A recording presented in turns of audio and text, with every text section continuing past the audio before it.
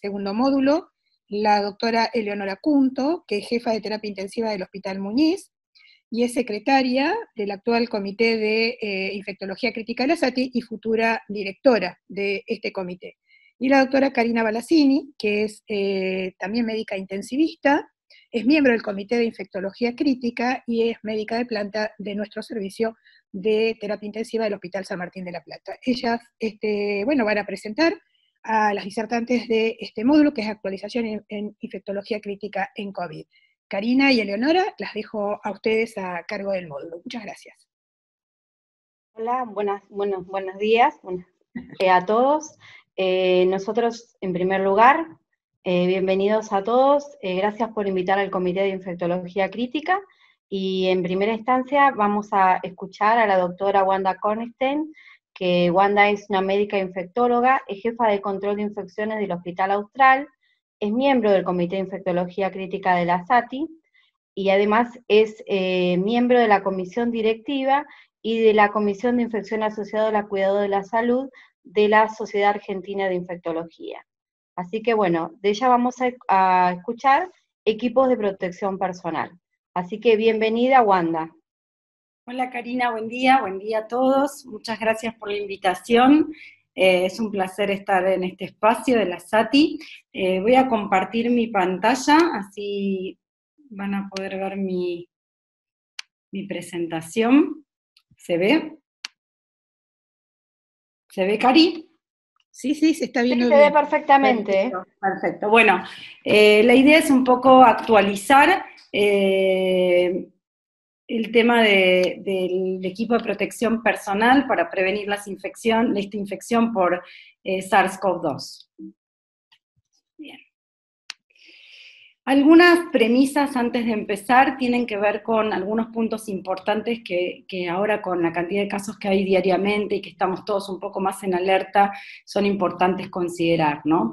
Eh, COVID-19 es una amenaza que debemos enfrentar los profesionales de la salud, de todas las especialidades, de todas las disciplinas hoy está ya acechando en todos los hospitales y debemos, por lo menos principalmente en AMBA, aunque no sabemos dónde va a terminar, ¿no? Atender a estos pacientes con el mayor profesionalismo es la verdad que nuestra responsabilidad, pero también sentirnos protegidos es una obligación de los sistemas de salud hoy en día. Y también tenemos un problema extra que es que cuidar los insumos y usar las precauciones adecuadas según el riesgo de exposición es fundamental para poder disponer de equipos en el momento que lo necesitemos y así evitar el contagio.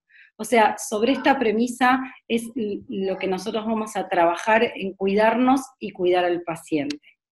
Y es importante saber que no alcanza solo con tener un buen equipo de protección personal, sino como dijeron algunos de los oradores anteriores, es que es fundamental capacitarnos y demostrar competencia en poner y quitarme el equipo de protección personal.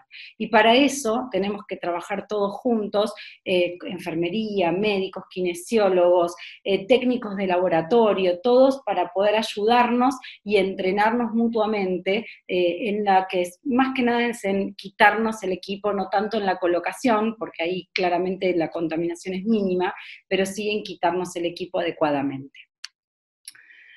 Como una forma de recordatorio, este virus no es un virus que vuela ni que salta, sino que es un, virus que se contagia de modo directo a través de las gotas que exhalamos al, al toser o al hablar, o sea, esas gotas respiratorias, que son gotas grandes, y también a través del contacto indirecto, cuando tomo contacto con superficies contaminadas, ya sea mi mano, si usé para taparme la boca y tomo contacto con otra mano, o también lo que es picaportes, la cama, la baranda de la cama, el colchón y todo lo que rodea el entorno del paciente. Esas son las principales modos de transmisión.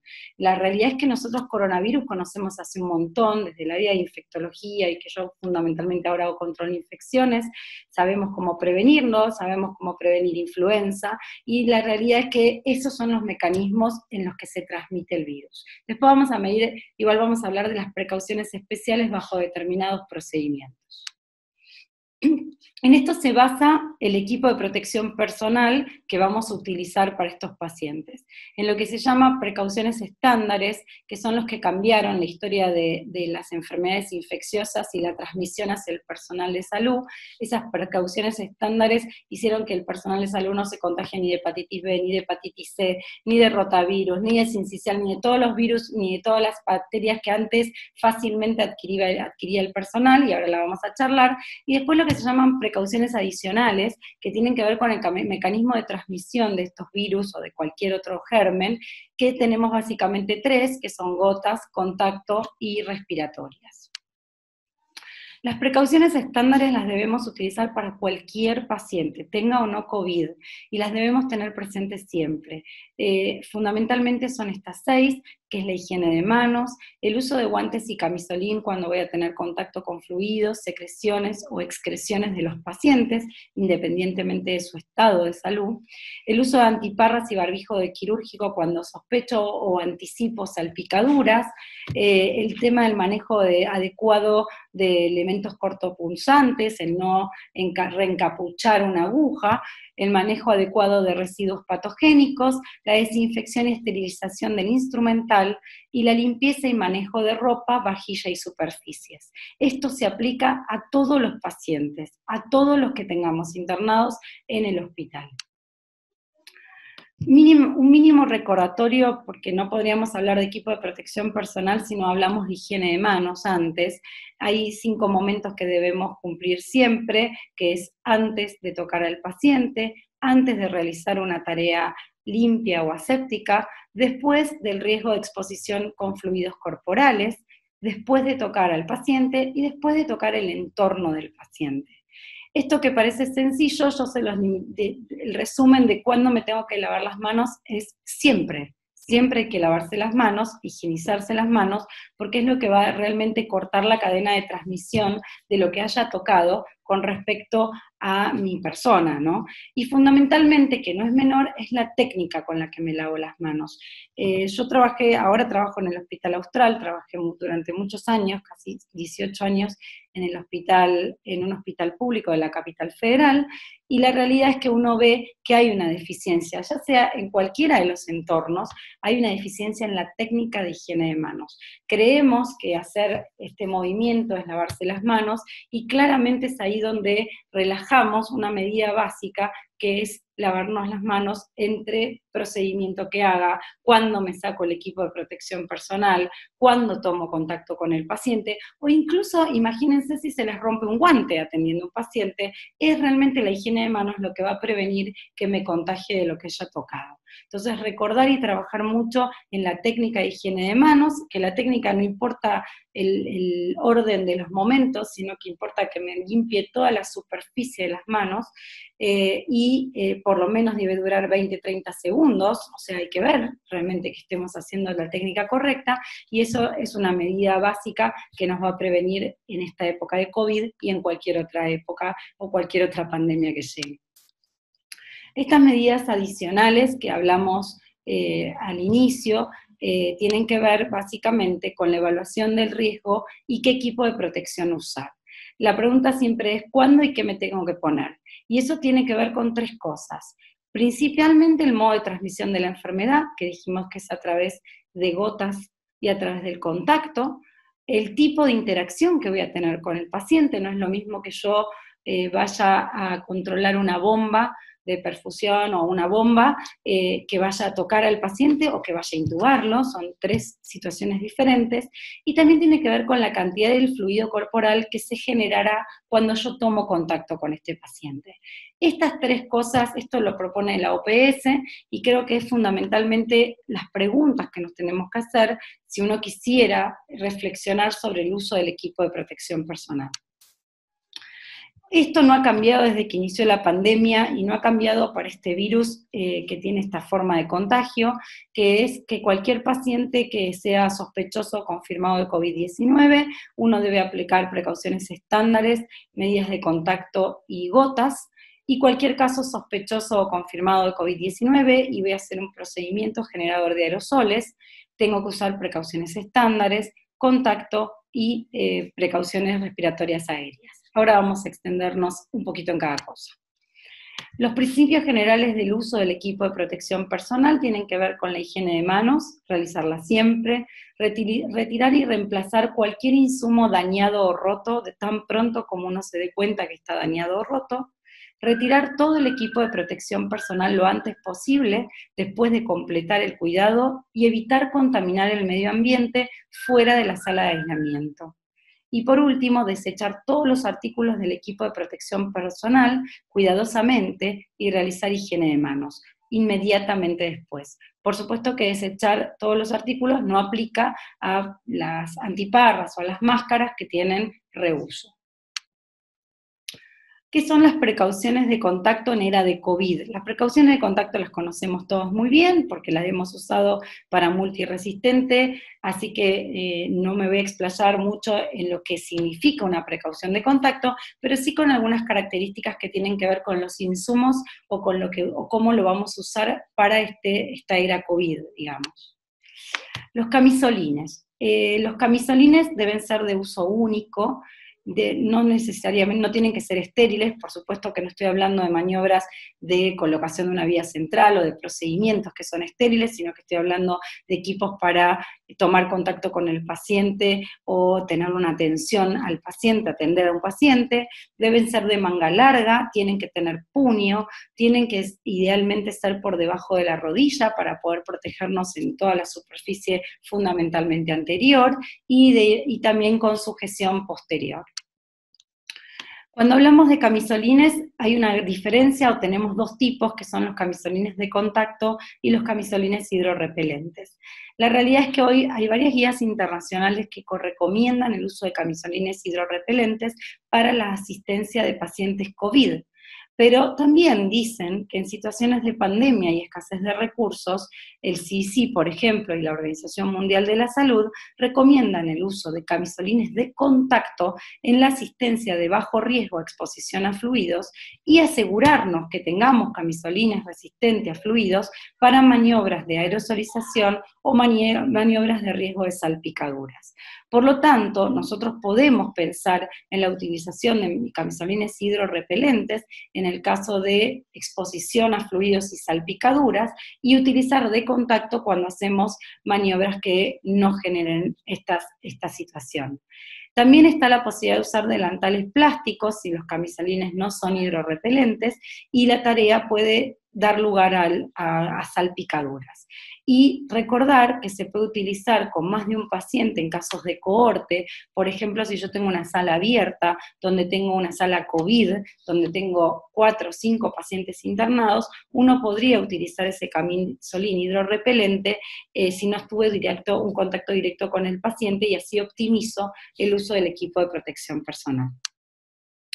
El camisolín, como dije, de contacto es de un solo uso en general, eh, tiene que ser tricapa con una barrera idealmente absorbente y en el caso de los hidrorrepelentes nosotros hacemos unas pruebas sencillas para saber si el camisolino es o no hidrorrepelente, tiramos agua en el buen sentido y vemos si pasa, lo hacemos varias veces y también lo que estamos probando y hemos hecho son pruebas para reutilizar estos hidrorrepelentes, ya que son caros y ya que son bastante gruesos, y cuando uno eh, va, hay de distinta calidad, pero si hay algunos que son de gruesos, de buena calidad y bien hidrorrepelentes, son como una, como una bolsa bien gruesa. En ese caso hemos probado lavarlos al lavarropa, sabemos que el COVID a 60, 70 grados por 30 minutos deja de existir, muere claramente, entonces hemos hecho prueba con lavado y mientras que conserve la forma y la hidrorrepelencia, uno podría hacer por ejemplo, un uso y dos reusos de ese camisolín. Consumo cuidado en el protocolo de manipulación y de lavado de los guantes. Los guantes sabemos que podemos usar de látex, se utilizan de vinilo y de nitrilo para pacientes alérgicos al látex, idealmente que cubran los puños, porque si no queda una superficie entre el camisolín y el guante que puede generar un riesgo para el personal de salud, y por supuesto hay que cambiarse los guantes entre un paciente y el siguiente, realizar higiene de manos y colocarse por supuesto un par limpio. No, nosotros, yo, nosotros desde la SADI y también desde la SATI que hemos tenido en nuestras discusiones, eh, no, no, no, yo no estoy a favor de aplicar productos como el hidroalcohol o alcohol en gel sobre el guante, eso puede secar el guante y puede predisponer a que se rompa fácilmente. Y la realidad es que si uno utiliza el guante, se lo saca y hace la higiene de manos correcta, eso sería la mejor manera para prevenir la infección o para prevenir la diseminación. Recordar que no se deben reutilizar los guantes desechables, por supuesto. Con respecto a las precauciones de gotas, que es la que eh, aplica el uso del barbijo quirúrgico a la medida, como medida adicional, el barbijo quirúrgico, creo que hoy en día los barbijos es un capítulo gigantesco donde estamos aprendiendo desde barbijos de uso social, de barbijos quirúrgicos y bastantes diversas marcas y calidades, y después vamos a hablar de otro tanto del barbijo N95.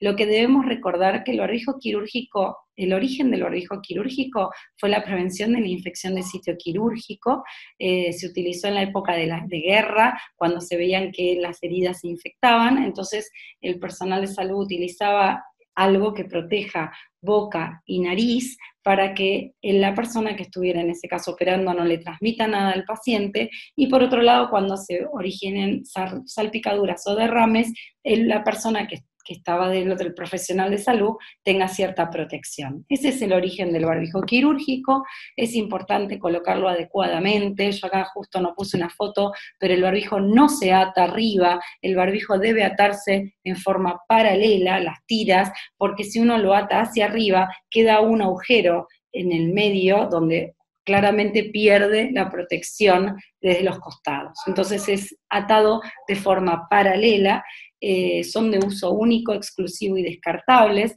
Eh, es cierto que nosotros en este momento estamos utilizando barbijo a veces quirúrgico y a veces de otras características para tenerlo todo el día en el hospital o para ir por la calle. Lo que uno debe saber es que cuando el barbijo se moja, se mancha o se rompe, hay que cambiarlo sí o sí. Y cuando uno va a atender pacientes COVID positivos o sospechosos, ese barbijo tiene que ser de un uso único. O sea, salgo de ver al paciente, lo tengo que tirar y colocarme uno limpio. Al tirarlo, por supuesto, al retirarlo, no se, no se, debe tocar la superficie externa, desatar los lazos inferiores y superiores y quitárselo sin tocar el frente, que teniendo en cuenta que puede estar contaminado y que esto puede variar si yo utilizo una máscara, porque ahí la posibilidad de contaminación del barbijo es mucho menor todos los pacientes sospechosos y confirmados de COVID deben usar barbijo quirúrgico al salir de la habitación o traslado del hospital. O sea que si yo voy a trasladar a un paciente, por supuesto que no esté intubado y es COVID positivo o sospechoso, el paciente debe utilizar barbijo. ¿Y por qué se usa esto? Acá podemos verlo en la figura. En general, cuando uno utiliza este barbijo, como yo les decía, evita la diseminación de microorganismos normalmente presentes en la boca, en la nariz y garganta. Sabemos que este virus, cuando uno tose, cuando uno habla, elimina esas gotas que pueden contener el virus. Entonces, cuando uno coloca un barbijo en el paciente y aparte colocamos un barbijo en el personal de salud, minimizamos mucho la posibilidad de contagio. O sea que suma protección al usuario en la inhalación de partículas, eh, siendo generalmente el aire en el interior del barbijo de 1 a 5 a 3 veces más limpio que en el exterior, y durante la exhalación protege a la salida de partículas entre 3 a 8 micras.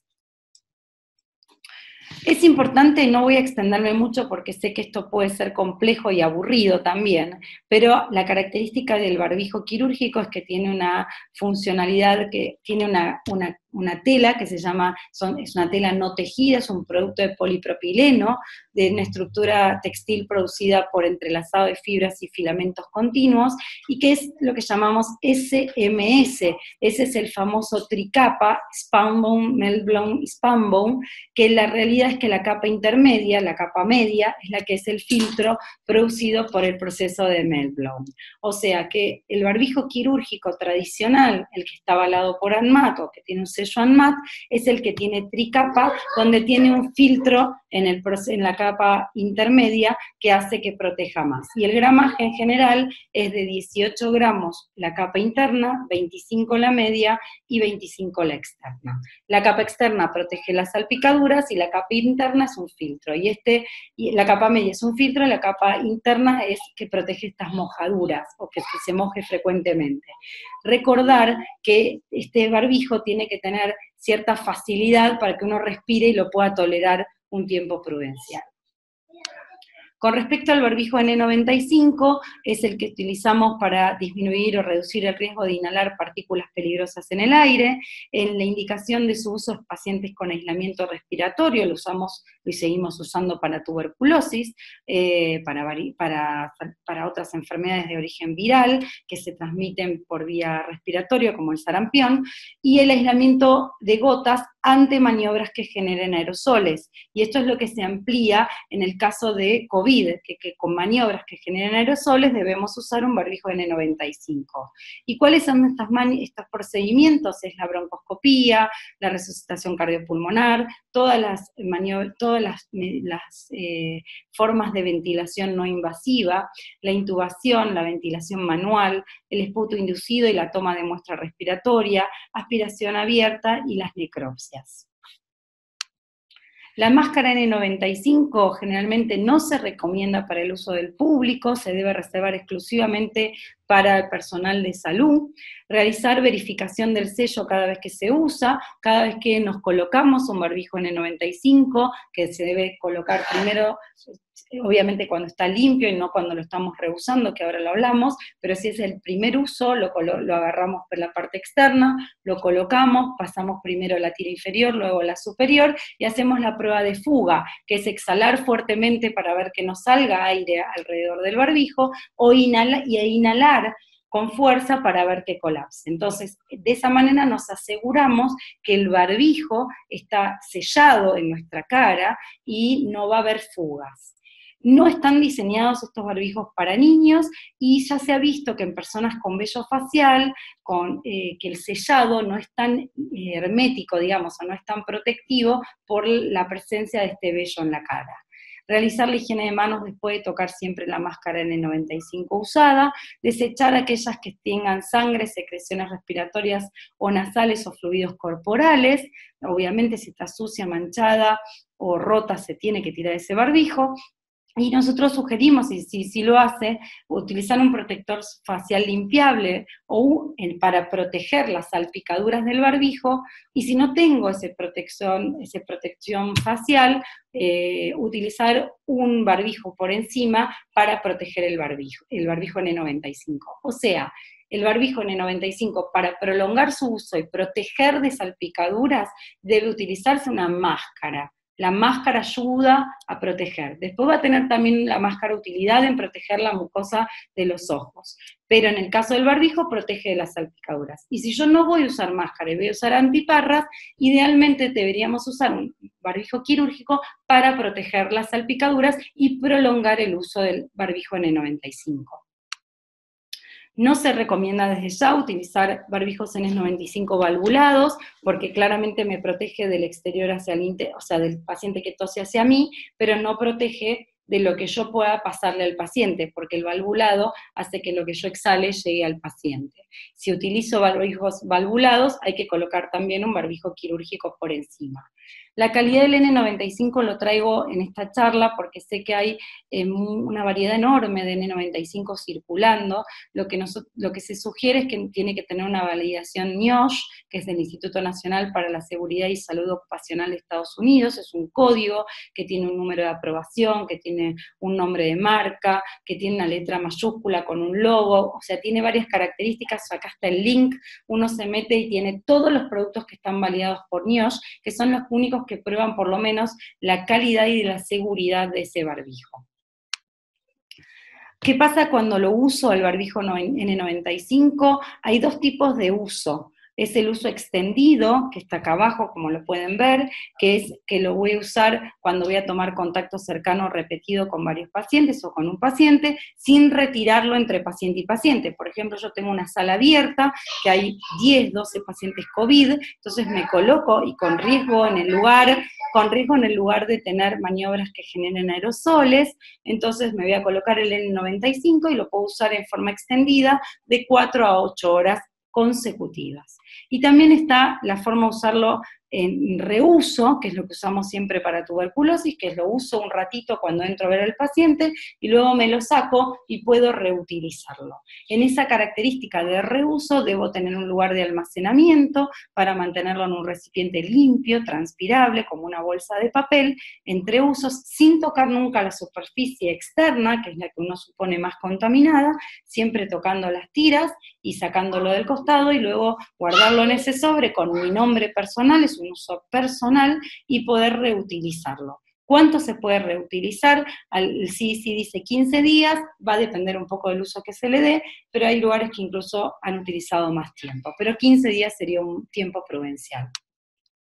Nosotros tenemos ahí formas de reprocesar barbijos N95, hasta la fecha el único método validado y aprobado por FDA es el peróxido de hidrógeno vaporizado. Lo más importante es tener un protocolo bien establecido de que, de colocar el nombre al barbijo, de ponerlo en un pouch, de ponerlo, eh, de hacer un proceso estandarizado en el área de esterilización para que esto se pueda hacer y para que el barbijo vuelva a mí. ¿Cuánto se puede reutilizar o reprocesar? Es un uso y dos reusos, o sea, un uso inicial y dos reprocesamientos.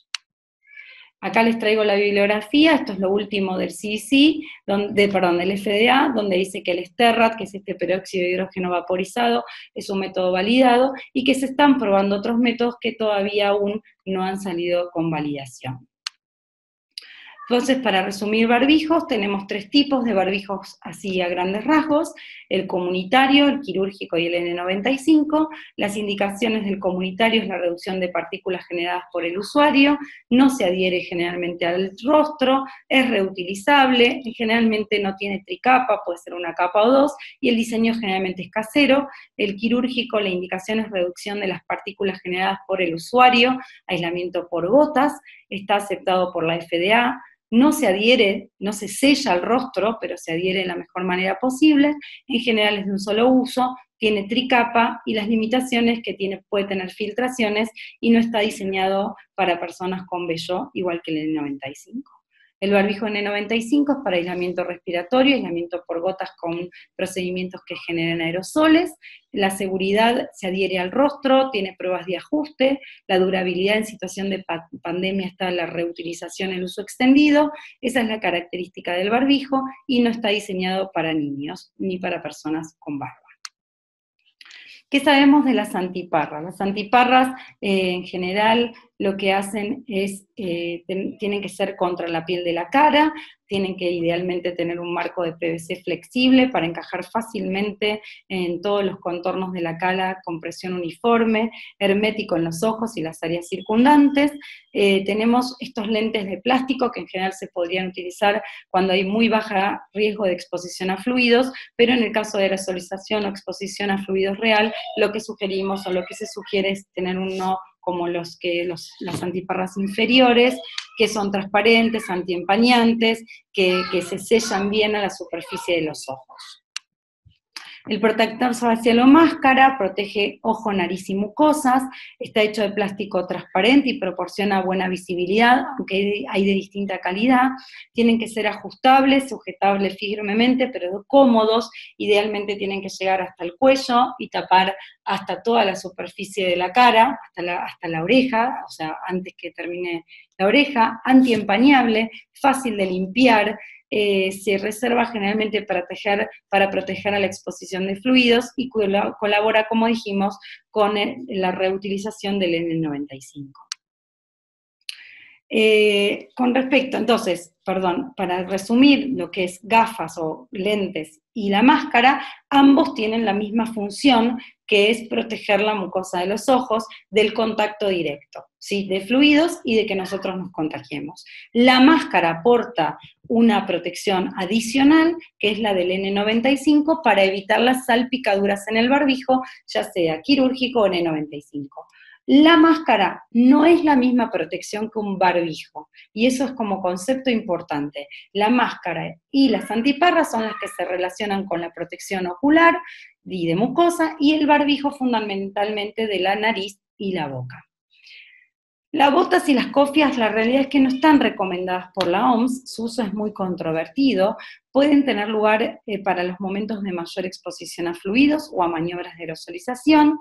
Ojo claramente al retirarlas para no contaminar sus manos y, después eh, recordar realizar higiene de manos inmediatamente luego de retirar botas y cofia. No sería necesario utilizar las botas si tengo calzado impermeable. Y la cofia generalmente es cuando la persona tiene pelo largo. Y la realidad es que las botas y las cofias es de un solo uso. Volvemos al cuadro inicial para resumir qué tengo que usar cuando voy a ver un paciente COVID positivo, recordar el tipo de interacción, el modo de transmisión y la cantidad de fluido corporal que se va a generar cuando tomo contacto con ese paciente y entonces esto lo, hicimos desde SADI, me parece que está bueno para compartirlo, cada uno puede tener la, señalética que, quiera, claramente, pero utilizando estos tres niveles de protección. Nivel 1, que es el contacto con paciente y sin riesgo de exposición a fluidos, ahí vamos a usar protección ocular a menos de un metro de distancia del paciente, barbijo quirúrgico, camisolín de contacto y guantes. Esto siempre hablamos de casos sospechosos o confirmados de COVID.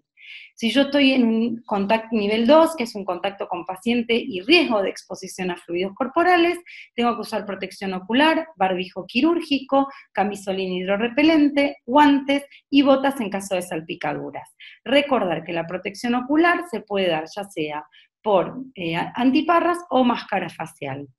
Y el nivel 3, en maniobras que generen aerosoles, eh, debido a que las máscaras son tan heterogéneas, eh, nosotros sugerimos usar máscara facial más protección ocular, o sea, la, máscara y la protección ocular, el barbijo N95, camisolín hidrorrepelente, guantes y botas o cubre calzados en áreas donde se generen muchos fluidos o en maniobras, por ejemplo, como de alta aerosolización o en maniobras de intubación.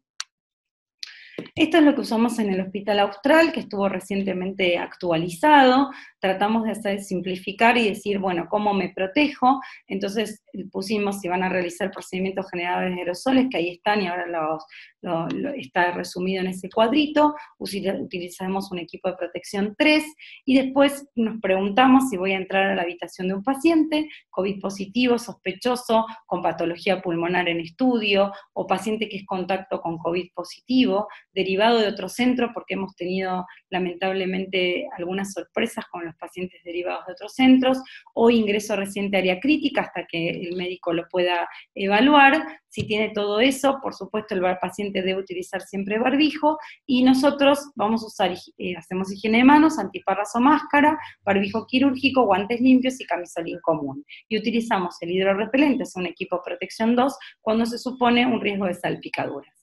Y si no cumple ninguna de estas características, higiene de manos y barbijo quirúrgico, barbijo personal, el que usa el, el personal de salud durante todo el día, y cuando tenemos exposición a fluidos, es lo que habíamos comentado de las precauciones estándares. Poner, colocarse y retirarse el equipo de protección personal dijimos que es importante y es valiosísimo. Esto lo propone el CDC, no es algo nuestro, sino que ya es algo eh, que heredamos del CDC y que estaba previo a la pandemia, claramente. Colocarlo es eh, en un orden fácil de camisolín, barbijo, máscara, guantiparra y guantes, y el retiro del equipo de protección personal es lo que es más complejo. Lo que nosotros sugerimos es hacer un checklist de retiro con ayuda de un operador externo, de un monitor externo, para que colabore en la seguridad eh, del retiro del equipo. Eh, hay varias formas, hay técnicas en un paso y dos pasos cuando retiramos guantes y camisolín. Eh, idealmente hay un video muy lindo del CDC, de, perdón, del, New England Journal of Medicine que salió la semana pasada, que es muy, muy educativo. Acá hay un tema que es importante recalcar, que nosotros, en el caso de intubación, se está utilizando doble guante, por también una maniobra para sacar cuando uno utiliza el laringo, el laringo así que este procedimiento es con un solo par de guantes, lo mismo que en el caso de, los videos que hay de New England Journal o de CDC. Entonces, recordar que si uno agrega un par de guantes extra, eh, esto hay que eh, ordenarlo nuevamente. Si uno utiliza un solo par de guantes, es guante, higiene de manos, ahí podemos usar la máscara, dejarla en un espacio para luego que se limpie o la protección ocular, el camisolín en forma de, bollo sin tocar la superficie externa y siempre tocando la interna y luego descartarlo, y el barbijo y la higiene de manos. Esto no voy a, debido al tiempo que tenemos, pero recuerden, hay un documento, si quieren consultarlo, esto es una copia del CIC, donde dice qué voy a hacer, qué tipo de personal de salud soy, qué actividad voy a hacer con el paciente y qué tipo de equipo de protección personal me tengo que colocar. Y ahí eh, tiene que ver con el personal de salud, que va a tener o no maniobras de generadoras de aerosoles, como comenté, personal de limpieza, qué hacemos con los familiares, que en realidad no debería haber ningún familiar, pero en el caso de que no haya otra opción o que, y, que no pueda estar el paciente solo por alguna razón, tenemos que cuidar también al familiar. ¿Qué pasa en el de los hospitales, qué hace el qué, cómo se tiene que proteger el personal de salud ante pacientes con o sin síntomas, el laboratorio, las áreas administrativas, toda esta información la pueden encontrar en el documento del CICI y traducida en un documento que hicimos para la Sociedad Argentina de Infectología. Lo mismo que en áreas como consultorios externos y áreas de sala de espera. Para terminar, eh, para ir redondeando, digamos, es importante tener en cuenta la costo-efectividad, ¿sí? O sea, hoy en día no es un tema menor, el equipo de protección personal tenemos que elegir eh, de calidad adecuada, eh, con un costo accesible y que, tenga una probada efectividad para tener, o por lo menos dar la seguridad a los profesionales de la salud que utilizando el equipo de protección personal van a protegerse frente a esta enfermedad. Eh, cuando nosotros pensamos en una pandemia, también se piensan en escenarios de optimización de los equipos y tenemos tres escenarios importantes que son cuando tengo recursos suficientes y una demanda cubierta, cuando tengo recursos insuficientes y una demanda cubierta, o cuando tengo un recurso insuficiente y una demanda excesiva. Bajo estos tres escenarios nosotros planteamos el uso extensivo o el uso prolongado de ciertos insumos y la reutilización de ciertos insumos.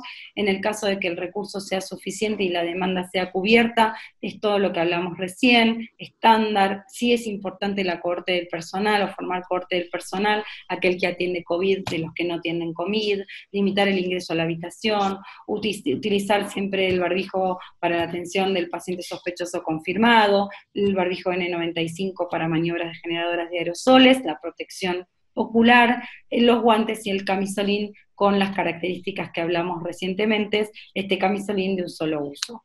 Cuando los recursos son insuficientes y la demanda está cubierta, recordar o empezar a tener estrategias de reutilización o reesterilización de N95, tratar de prolongar el uso del barbijo quirúrgico utilizando una máscara facial para evitar que se ensucie, el camisolín, ver estrategias, de lavado de camisolín hidrorepelente, eh, y si no se pone los camisolines hidrorepelentes, considerar el uso de delantales para protegernos de las salpicaduras, y en caso de cortes abiertas, utilizarlo para examinar a todos los pacientes de la corte. Y por último, el escenario que no querríamos llegar, que es cuando hay recursos insuficientes o demanda excesiva, eh, todo lo que hablamos previamente, y está la aparición de estos mamelucos, que yo no hablé mucho del mameluco, porque la verdad es que mameluco lo que se, se ha dicho o se ha promocionado, generalmente el mameluco se usa para fumigación o para la utilización de tóxicos y es para lo que se crearon los mamelucos. Los mamelucos después se, están utilizando ahora para riesgo biológico. La realidad es que estuvimos investigando mucho en esto de mamelucos, hay hay muy pocos que dicen y hablan de prevención frente a riesgo biológico, sí muchos que hablan sobre prevención frente a riesgo tóxico, pero estos mamelucos salen al mercado como de un solo uso. Entonces, realmente cuando uno piensa en reutilizarlos o de hacerle un uso extendido, eh, la bibliografía es muy poca y la evidencia es muy poca. Entonces, hoy el mameluco estaría en un escenario como este, con recursos insuficientes, con demanda excesiva, sería de uso o un hospital COVID como mencionó Sebastián hace un rato, que nosotros tenemos y el lunes se inaugura o se, se hace la apertura de un hospital COVID, entonces uno podría tener un equipo que lo protege durante toda la jornada para estar dentro de ese área y que luego debería descartarse. La, utilización de productos como pulverizadores o como... Eh, lavarropas para lavarlo, la verdad que no está avalado por la gente que hace el producto y la verdad que no tendríamos que buscar la forma de asegurarnos de que eso queda en condiciones óptimas. En resumen, eh, tenemos que tener en cuenta que los casos sospechosos de confirmados o confirmados de COVID-19 que requieren admisión a un área, cualquier área del hospital, sin procedimientos que generan aerosoles, que es esto del medio, higiene de manos, camisolín, barbijo quirúrgico, antiparras o protección facial y guantes, y en el caso de casos sospechosos o confirmados y hagamos procedimientos generadores de aerosoles, el barbijo quirúrgico se reemplaza por un barbijo N95. El triage si no va a tener contacto estrecho con un paciente con higiene de manos y barbijos quirúrgico alcanza, y para la toma de muestra respiratoria, aspirado nasofaringio y todo lo que estamos usando, o el hisopado nasofaringio, se utiliza un equipo de protección personal 3. Por último, capacitar y entrenar. Capacitar y entrenar no es menor, nos tenemos que juntar, nos tenemos que, unir, eh, nosotros en el caso del Austral tuvimos mucho apoyo de la terapia intensiva, del equipo médico y del equipo de enfermería en el entrenamiento del personal. También hubo apoyo de los anestesiólogos y de muchas áreas involucradas en ayudar y en colaborar en que las cosas las hagamos bien. Y eso es un mensaje importante, que más allá del equipo que tengamos, el equipo de protección personal, es fundamental el equipo interdisciplinario, el equipo humano con el que nos rodeamos para ayudarnos a evitar a ayudarnos a no cometer errores en esto que es tan, tan complejo como sacarnos el equipo de protección personal. Muchas gracias.